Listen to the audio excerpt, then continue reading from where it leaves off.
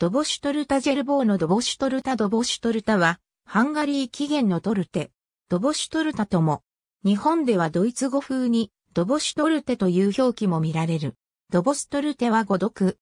5層から7層からなる薄いスポンジケーキの層の間にモカチョコレートクリームを挟み、一番上のスポンジケーキをカラメルで覆って仕上げる。ドボシュトルタ生みの親のドボシュシーヨージェフにちなんで名付けられた。ドボシュは1887年にドボシュトルタを創造し、構想を工夫して国内外に発送した。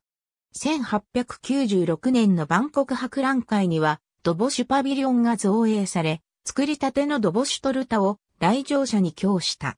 ドボシュトルタのあまりの人気から、粗悪な偽物が出回るようになったため、ドボシュは1906年にドボシュトルタのレシピを公にし、ブダペシュトの菓子職人とメーゼシュカラーチ職人のギルドに寄付した。1962年には、ハンガリーの料理人と菓子職人の組合がドボシュトルタの生誕75周年記念式典を催し、菓子職人たちが直径6フィートのドボシュトルタと共にブダペシュトの通りをパレードした。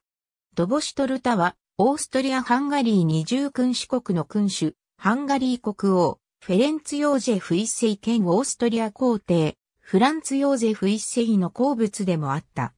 ブタペシュトでは、老舗のパティスリー、カフェジェルボー、アーボーでも食べることができる。また、最近では日本でもジェルボー東京本店で、ドボシュトルタは提供されている。